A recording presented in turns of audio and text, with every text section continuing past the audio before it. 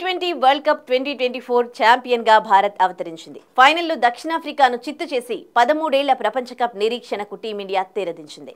గెలుపు ఆశలు లేని స్థితి నుంచి అద్భుతంగా పోరాడి జగజ్జేతగా నిలిచింది.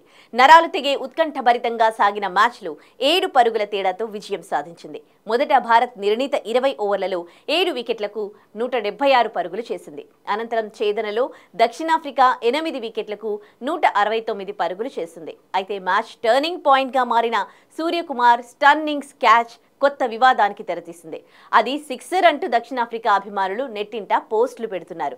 అసలేం జరిగిందంటే సౌత్ ఆఫ్రికా విజయానికి ఆరు బంతుల్లో పదిహేను పరుగులు అవసరమయ్యాయి.